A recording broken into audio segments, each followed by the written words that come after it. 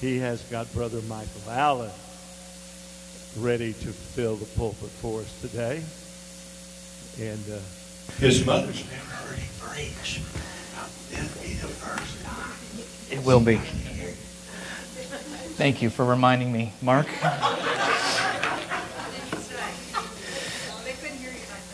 I'll, uh, I'll recap what Mark just reminded me of so wonderfully and quietly and tenderly is that um, my mother is here. So I'm thankful. Um, and I always kind of get wound up like a top anytime I get to preach or have the opportunity. Um, I always feel like I'm going to mess it up, especially if my mother's going to be in town. And she got a last minute flight. Um, she's sitting right here next to, between my two beautiful children and next to my beautiful wife. Two, half of our tribe of children are sitting here. Um, but, uh, you know, I get the opportunity to preach at different churches here and there around the area. And um, what makes this a little bit more nerve wracking is because those churches I can leave and I don't have to face them anymore, but I have to come back and face you all. And so does Pastor Bill if, if I lay an egg. Uh, so, but um, thank you. Thank you, church family. Thank you, Pastor Bill, uh, Pastor Zach, who just uh, patting me on the shoulders and praying for you. I appreciate that. Um, but, you know, with the pressure of being at a home church and, and, and my mother in town, I, I spent all night working on this sermon. And not that it was one that I wrote this week. When, when Pastor Bill called me on Wednesday, I, I had decided, I've been praying, and, and it's, it's, a sermon that I had written a few months ago and preached at a different church about how faith and action can change a nation. But I spent all night, I was probably up till 1 in the morning, and, and one of my biggest fears is coming up here and having nothing to say and being done in about five minutes and saying, you know, give thanks in all things, give thanks, and have a great day. And um, so I, I, tend to try to put too much to fill time. And it reminded me of a story that I heard a preacher tell about this speaker. And uh, this speaker was set to speak for a half an hour. And uh, he's going, and the half hour comes and goes. 45 minutes, this, this speaker's still going. Hour goes by, he's not even slowing down. He's just going and going and going and going. And hour and a half later, I mean, he's just going. And finally, a, a man in the back row takes off his shoe and attempts to throw it at the speaker. Falls short and hits a lady sitting in the front row. And uh, speaker is oblivious. He's still going. And the man is, runs up to, to console the lady and, and pick her up says, I'm so sorry. I'm so sorry. Are you okay? And she looked at him and she says, No. I can still hear him. Hit me again.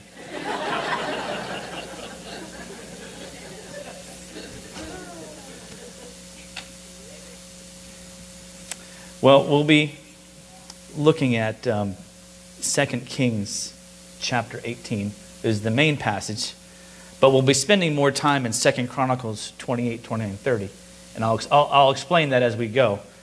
Uh, but so, so put a bookmark in, in 2 Kings 18. 1 through 8, verse 1 through 8, and then Second Chronicles 28. And we'll be, we'll be, we'll be looking at, at, at faith in action, but I'd like to go ahead and open us in prayer, and then we'll get started. Heavenly Father, thank you for this opportunity, Lord. Thank you for this group of believers who have come here in the beautiful rain that you have blessed us with to assemble with each other as, as you command us to do, to stir up love and good works. And I just pray, Lord, that you would bless us with your presence, that you would, that you would open and penetrate our hearts and our minds with the truth of your word this morning as it relates to Hezekiah and how one man's faith into action changed a nation. Lord, be with us. Stir our hearts this morning. And we thank you in Christ's name. Amen.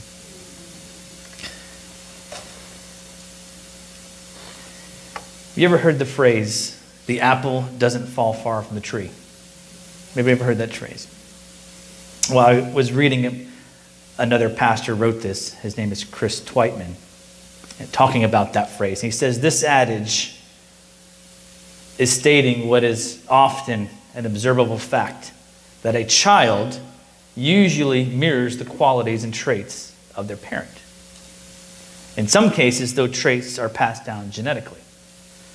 For example, many of you know my daughter, youngest daughter, Annabelle. For better or for worse, she kind of looks like me. Um, I'll leave it at that. Physically, though, uh, you know, she may be an image of me. Uh, but this phrase, the apple doesn't fall far from the tree, isn't really speaking so much of biology, but about influence. And if we use the image of an apple dropping from a tree, we can imagine the apple is still going to be close to that tree. Uh, the apple is within reach of the tree. Uh, the apple is still under the tree's shadow. In other words, this saying, the apple doesn't fall far from the tree, speaks more to the qualities and traits that children learn from their parents. As children observe, listen to, and mirror the speech of their parents, the people with whom they focus and spend most of their energy, children become like them in how they think, how they speak, and how they do life. Well, today we're going to look at an apple that did fall far from the tree Hezekiah. Hezekiah was the son of King Ahaz, whom the Bible says he did not do what was right in the sight of the Lord. Hezekiah was a bad king. And if you know this time of history, Israel is in two kingdoms, but there's, there's one bad king after the other. Israel is, since the time of David and Solomon, for 100 years, they just are going into a moral and spiritual decline. One wicked king after the other uh, and Ahaz, and, and every now and then they had a good king that would there'd be a, a glimmer of hope, and then they'd go back down. And King Ahaz is one of those uh, wicked kings. And uh, in, in 2 Chronicles 28 1, uh, actually in verses 2 through 4, it says, Ahaz walked in the ways of the other kings of Israel. He made metal images for the Baals. He made offerings in the valley of the son of Hinnom and burned, burned his sons as an offering. I want you to think about that. He burned his own sons as an offering according to the abominations of the nations whom the Lord drove out before the people of Israel. And he sacrificed and made offerings on the high places and under the hills and under every green tree. And they used to, the pagans used to worship under green trees because they thought that would bring you blessing. A green tree is healthy, and so this tree is going to bless us if we worship and do sacrifices near it. Skipping down to verse 19, it says, He encouraged moral decline and had been continually unfaithful to the Lord. This is King Ahaz. This is the tree. Verse 22, 2 Chronicles 28. In the time of his distress, he became yet more faithless to the Lord this same King Ahaz. For he sacrificed to the gods of Damascus that had defeated him and said, Because the gods of the king of Syria helped them, I will sacrifice to them that they may help me. See, Ahaz was so bad and Israel was in such moral decline that God raised up Syria to defeat them. King Ahaz, instead of recognizing, oh, and humbling himself before God, he says, You know what? I'm going to go figure out who those gods of Damascus are because they must be powerful than the God of Israel. This, the passage goes on to say, But they were a ruin of him and all Israel. And Ahaz gathered together the vessels of the house of God and cut in pieces the vessels of the house of God. And he shut up the doors of the house of the Lord and made himself altars in every corner of Jerusalem to these foreign and pagan gods. In every city of Judah, he made high places to make offerings to other gods, provoking to anger the Lord, the God of his fathers. That's King Ahaz. That's the tree. I'm going back to, to 2 Kings 18, 1 through 8, and here's Hezekiah, his son. Now it came to pass in the third year of Hoshea, the son of Elah, king of Israel, that Hezekiah, the son of Ahaz, king of Judah, began to reign, takes over after his father dies. He was 25 years old when he became king, and he reigned 29 years in Jerusalem. His mother's name is Abi, the daughter of Zechariah. And he did, Zechariah, what was right in the sight of the Lord, according to all that his father, King David, had done centuries before. Now, let me pause right there. This got my attention. And I try to read through the Bible chronologically every year. And when you do that, you spend a lot of time in the Old Testament. As you get through it, it's wicked king, bad king, bad king, bad king, bad king. Then all of a sudden, he did what was right. And I stopped right there and I wrote a little note. Because I wanted to know what did Hezekiah do right in this time of moral decline that God was pleased? I mean, have you ever heard people say, I'm just trying to do right, the best I can to please God? Anybody ever heard that? Everybody said that I have. So, what did Hezekiah, this apple, do differently? 2 Kings 18, I'll pick back up in verse 4. It says, He removed the high places, broke the sacred pillars, cut down the wooden image, and broke in pieces the bronze serpent that Moses had made hundreds of years before. For until those days, the children of Israel were burning incense to it and calling it Nehushtan. Think about that. This bronze serpent. If you know the story of the bronze serpent that Moses, when the Israelites were in their journey, their, their, their disobedience walking in the wilderness, they were complaining and grumbling. And God sent serpents to bite them, and many of them were dying. And they cried out to God, Please heal us. And so God told Moses, Make a bronze serpent, put it on a, on, on a pole, and hang it up on the, and put it up. And anyone who looks to that bronze serpent will be healed. Now that foreshadows the cross of Christ. Look to the cross, you'll be healed. Trust in that. Well, they had saved this. I mean, what a nice artifact to have. Through the centuries, they had saved this bronze serpent. But now the people were worshiping it. Now think about Hezekiah. He comes in and he breaks this ancient artifact. Even at that time, it was an ancient artifact. Belonged, you know, Moses made this.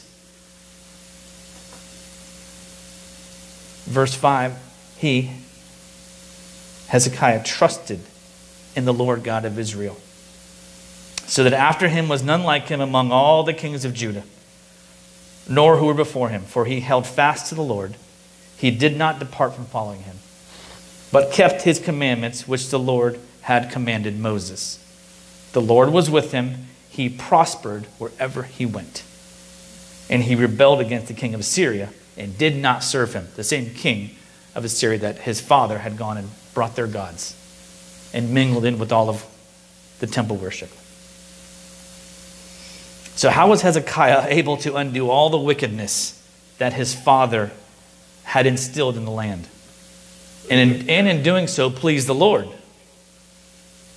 And the Bible is calling him the best, basically the best king since David and Solomon. Now, King David and his son Solomon, that was kind of the pinnacle of, of Israel. And it just kind of went downhill for centuries until they were, they were put into captivity. So, how did he do this? He did it by reformation, and rededication, followed by a celebration, and then that led to a revitalization. And we're going to unpack that uh, right now. And I'll go back to Second Chronicles uh, chapter 29. Hezekiah institutes reformation. In verse 3, it says, In the first year of his reign, in the first month, he opened the doors of the house of the Lord and repaired them. Remember, his father had shut the doors of the house of God. Here he opens them. He brought in the priests and the Levites and assembled them in the square on the east and said to them, Hear me, Levites, now consecrate yourselves and consecrate the house of the Lord, the God of your fathers, and carry out the filth or the rubbish from this holy place. So this is the, his first month in office. Notice he did not waste any time the moment he had the authority to institute change. But no procrastination, no business meeting, no committees were formed. There was no, according to the CDC, we can reopen. The CDC being an entity that had no authority to close anybody, but yet many of us did voluntarily. That same CDC said the liquor stores and the abortion clinics should stay open because those are essential services. This is an essential service. Right here. That's another sermon for another day. I mean, it's, it's easy to look back and criticize, and I may have done and acted in a similar fashion. But there were many pastors who stood firm on the authority of God. But what about you and me? Are our doors to the temple open? Have we closed the temple doors? And you might be thinking right now, well, you're not very bright, Pastor. Our church is obviously open. I'm not talking physically. As we're, as we're standing here in this, in this beautiful building, I'm talking spiritually. Have we shut the doors to our hearts, to God? Paul writes this in 1 Corinthians chapter 6 verse 19. Do you not know that your body is the temple of the Holy Spirit who is in you, whom you have from God, and you are not your own, for you were bought at a price. Therefore, glorify God in your body and in your spirit, which are God's. See, in the, in the days of, in the Old Testament, the Spirit of God dwelled in the temple, the physical temple. But now, in this church age, we are the temple. God's Spirit dwells within us. The moment we accept Christ as Savior, we are sealed with that guarantee. That's God's down payment. Say, I'm coming back for you. I bought you. I own you, and I'm coming back for you. And here's my Spirit in you as a guarantee. First month, Hezekiah reformations, he reopened the temple doors. Told them, the Levites, now consecrate yourself. See, the Levites needed to be holy themselves before they could undertake the task of making the temple holy. One commentator wrote this, McConville, he stated, It's one thing to be a priest or a Levite, but quite another to be fit at any given time to act as such. Hezekiah's charge to the priest was clear You are not fit for service in your current state of impurity. Consecrate yourselves. Did you know that we, as believers in Christ, are priests as well?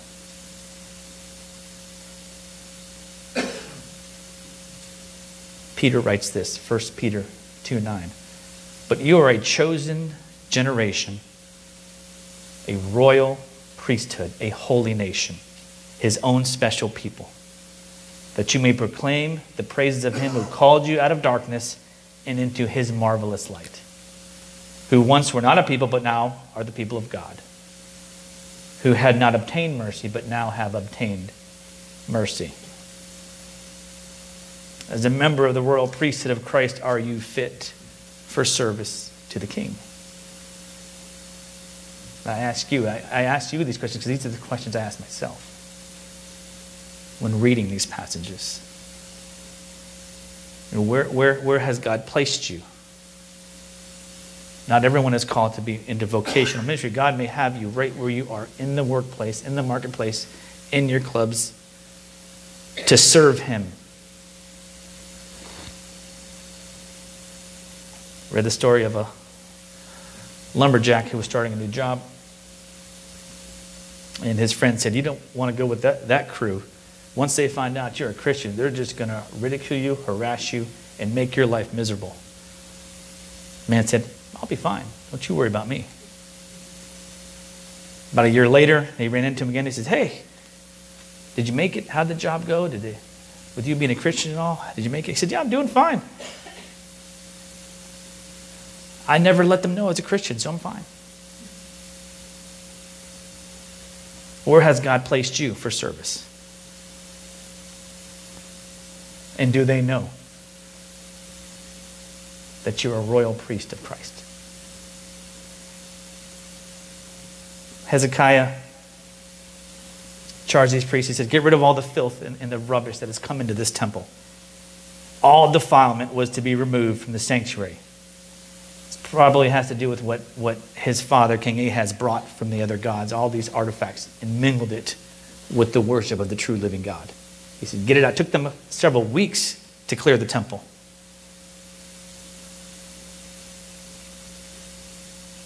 Are there impurities in your life that King Jesus wants to rid you of? What cultural idols have you and me allowed into our inner sanctuary, our hearts? Like I said, it took them a few weeks to remove the filth from the temple, but we have the ability to be cleansed instantly. Instantly. Through the atoning blood of Jesus. 1 John 1 9 says, If we confess our sins, he is faithful and just to forgive us our, all our sins and to cleanse us from, excuse me, forgive us our sins and to cleanse us from all unrighteousness. This is talking to us as believers. It doesn't say some of our unrighteousness, all. If we just confess with a repentant heart. I mean, we're not immune as believers to collecting filth. Filth and rubbish comes into our life at different times.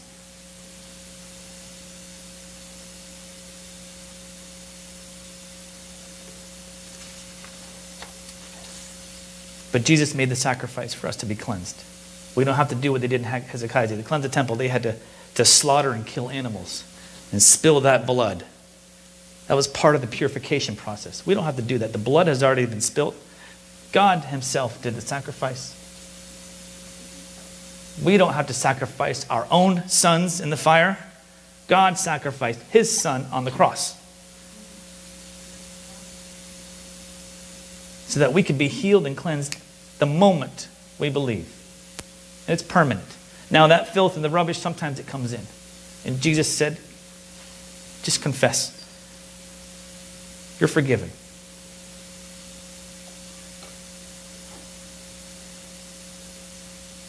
What has replaced God on the mercy seat of our hearts?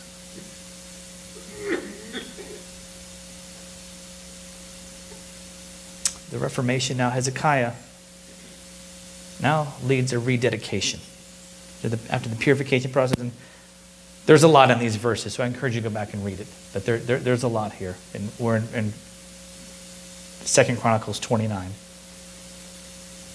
And, and this rededication starts corporately. And they brought all the bulls and the rams, and I'm in verse 21 if you're following along, 2 Chronicles 29, 21. And they brought seven bulls, seven rams, seven lambs, and seven male goats for a sin offering for the kingdom in the sanctuary and for Judah. So that's a corporately cleansing and rededication of the temple. Then Hezekiah opens the altars for everyone individually. In verse 31, he says, Come near now to all those who are there. Bring sacrifices and thank offerings to the house of the Lord. And the assembly brought sacrifices and thank offerings, and all who were of a willing heart that's the key of a willing heart. Brought burnt offerings. It's one thing to, to corporately worship and praise as a church, and, and, and we do that. But the true repentance, it comes from a willing heart. Hezekiah can't do that for you. I can't do that. Pastor Bill, Pastor Zach can't do that for you. It's a willing heart. You have to come to God. You have to come to Jesus with a willing heart. It's a personal, personal decision. So in his first month, Hezekiah had reestablished proper temple worship, an accomplishment that brought great rejoicing. So now they move to a celebration. Chapter 30, 2 Chronicles chapter 30. So the king now wanted to resolve and reinstitute uh, the Passover. They had stopped even celebrating the Passover. So Hezekiah, in, in, in, chapter 30 there, verse 1, he says, He sent to all Israel and Judah, wrote letters also to Ephraim and Manasseh uh, across the way, that they should come to the house of the Lord at Jerusalem to keep the Passover to the Lord, the God of Israel. So he's inviting now the northern kingdom and saying, Hey, come. We're just going to celebrate. And let's return to the Lord. So couriers went from city to city through the country of Ephraim and Manasseh and as far as the but they laughed them to scorn and mocked them. I mean, some came, but they were laughed and ridiculed. See, Hezekiah's zeal embraces all of Israel, even though they were in two kingdoms at the time. But he sends letters which, although the greater part laughed them to scorn, brought up many serious souls to worship the God of Israel in Jerusalem. Many did come. See, if everything is not reestablished as a whole, yet wherever faith is in action and a sincere heart seeks to glorify God, there is always cause for the faithful to rejoice in the dealings of God. Always. And now that the faithful have had reformation, rededication, and now celebration, what happens next is hearts on fire, a revitalization by the people. I read this story about a Lutheran bishop visiting a parish church in California and finding a stirring red and orange banner on the wall. Come, Holy Spirit, hallelujah, it declared, in words printed under a picture of a, of a, uh, of a fire burning. This bishop was also interested in the sign directly underneath the banner, which said fire extinguisher. So much for that parish's commitment to spiritual renewal. See, lip service, what does God think about lip service? It's faith in action. Yes, we confess Jesus with our mouth and believe in our heart that he has saved us, but then our faith in action. Second Chronicles 31 1. Now, when all this was finished, all the rededication, all the, the killing of the bulls, and all the people with their willing hearts bringing their burnt offerings, when all this, and those that didn't mock and ridicule came and worshiped, when all this was finished, all Israel who were present went out to the cities of Judah and broke in pieces the pillars, cut down the Asherim, and broke down the high places and the altars throughout all Judah and Benjamin and in Ephraim and in Manasseh until they had destroyed them all. Then all the people of Israel returned to their cities, every man to his possession. Faith in action. The people went out and tore down the high places that King Ahaz everywhere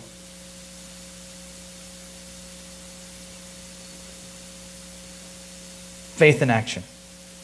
James writes this, chapter 2, 17 and 18. Faith by itself does not have works is dead. But someone will say, You have faith, and I have works. Show me your faith without works, and I will show you my faith by my works. The faith by all was present and very much alive. Think about that revival. Hearts on fire. They went out on their own, energized and renewed by God, and rid of everything that God hated out of the cities, and from those that mocked and ridiculed them as well.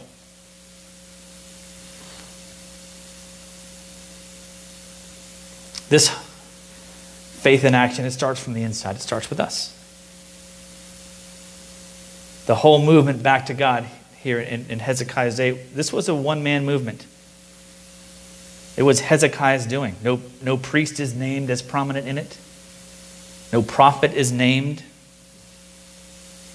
So I, as I was studying, and I was like, what was prompting the king? What could have been prompting the king? I mean, it's obvious that Hezekiah is not an apple from Ahaz's tree. That's very, very clear. But it does mention one other person in the description of Hezekiah in 2 Kings 18 1 and 2. It says, Hezekiah, the son of Ahaz, king of Judah, began to reign. He was 25 years old when he became king, and he reigned 29 years in Jerusalem. And his mother's name was Abi, the daughter of Zechariah. Now, I didn't just add this here because my mother is here. I wrote this months ago. So, there's also another tree that likely influenced Hezekiah God the Father. See, Hezekiah seemed to know what pleased God, unlike his father Ahaz. And maybe his mother brought him up and influenced him on the scriptures in those days. We don't really know. But the Word of God speaks very clearly. Joshua 1 8. God gave Joshua some instructions. He says, This book of the law shall not depart from your mouth, but you shall meditate in it day and night, that you may observe to do according to all that is written in it. For then you will make your way prosperous, and then you will have good success. Psalmist wrote this Psalm 1. Blessed is the man who walks not in the counsel of the ungodly, nor stands in the path of sinners, nor sits in the seat of the scornful, but his delight is in the law of the Lord. And in his law he meditates day and night.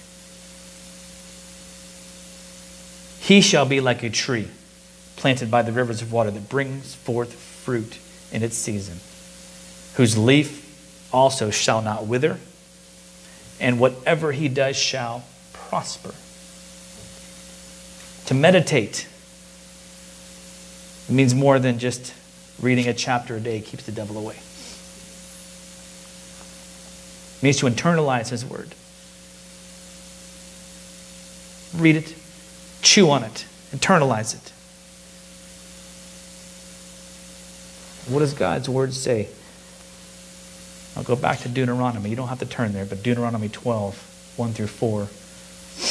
Moses giving instructions to the Israelites hundreds of years before this Hezekiah story. Moses says this These are the statutes and judgments which you shall be careful to observe in the land which the Lord God of your fathers is giving you to possess. Remember, they're, they're getting close to entering the promised land.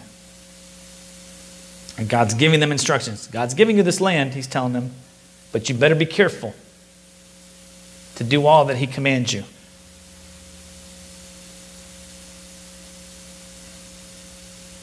Deuteronomy 12:2 You shall utterly destroy all the places where the nations which you shall dispossess serve their gods.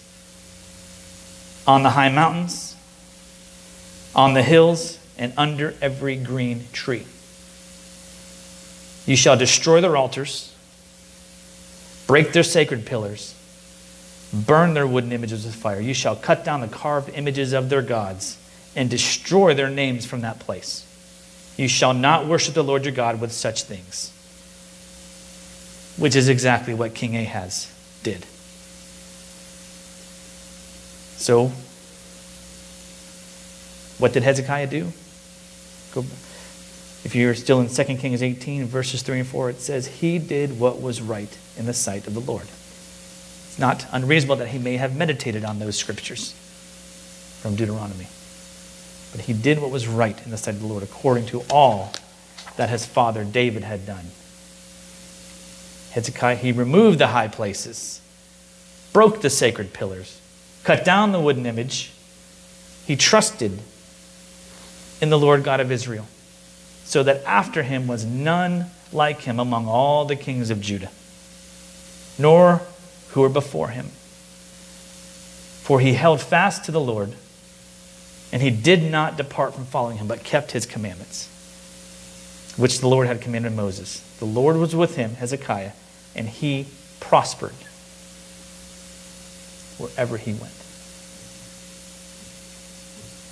Now, prosperity is not material wealth. talking about prosper and good success and living in an abundant life that God will give you. Starts with meditating on his word. I don't preach a health and wealth gospel, and I don't believe in a health and wealth gospel. But God will give you success according to what He deems as success.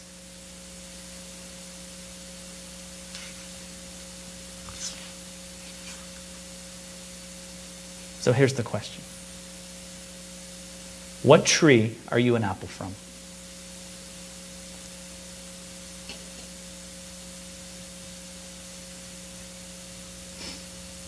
Let's take a minute. Let's bow our heads and close our eyes and just think. What tree are you an apple from? What high places, sacred pillars, wooden images do you need to clean out of your temple and mine our hearts. What is God speaking to you right now? What, what reforms may He be telling you to make in your own life? What idols and rubbish or filth, as the Bible calls it, needs to be carried out of our hearts?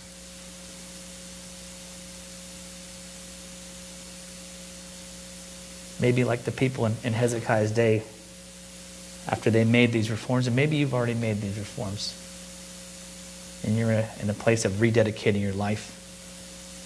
Do you need to make that decision today? You know what? I've let some, some rubbish in. I've let some filth creep in that shouldn't be here. I know it doesn't please the Lord. And I want to rededicate my life. And I want to, I want to, I want to tell somebody about it.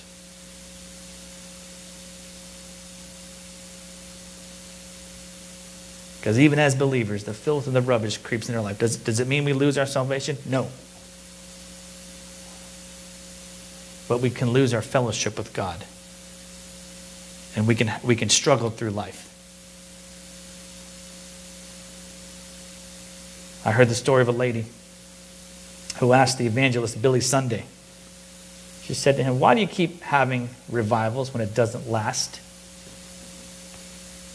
He asked her, why do you keep taking baths? What steps do you need to take to put your faith in action today? Make that commitment to God in your heart. And in a minute, you're, you're more than welcome to come down and, and speak to us. Speak to myself. Pastor Zach. I'd ask Pastor Zach to go to the, to the library room. And if you want to go back and if you just want prayer, you want to tell him some good news, you want to celebrate something, you want to rededicate, Pastor Zach is in is the back room here. The altar will also be open if you want to come and stand publicly. What steps do you need to take? Make that commitment to God. Maybe you're here today and God is speaking to your heart, but you don't know what's going on. There's just something stirring in my heart. I, I don't know.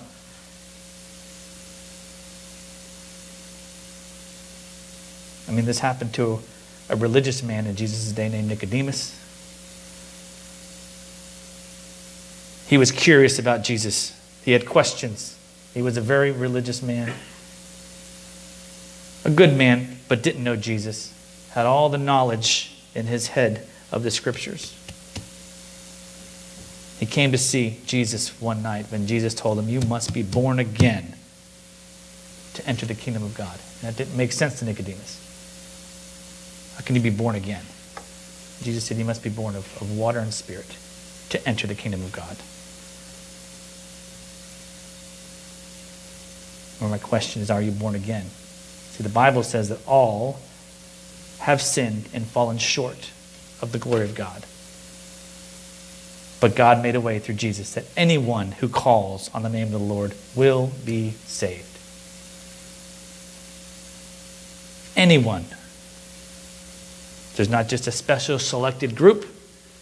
It's God's desire that all people be saved. That's God's heart. He wants everyone to come to saving grace. He didn't just choose a few, it's available to everyone. The Bible says if you confess with your mouth and believe in your heart, you will be saved. And Jesus will carry out all the filth that is in us and wash us white as snow, no matter what you have done. And you could say, well, preacher, you don't know what I've done. No, I don't. God does, and He wants to forgive you. He wants to forgive you. There's nothing that you can do that will disqualify you from receiving God's grace except disbelief. That's it dying in your sins.